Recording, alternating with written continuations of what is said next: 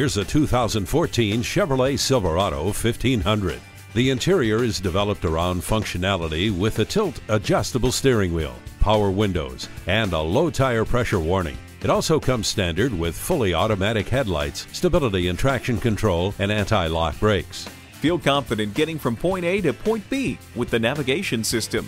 No one will complain about the temperature with the dual zone climate control. The heated mirrors let you see behind you without all the work. It'll help you get the job done time and time again. Check it out today.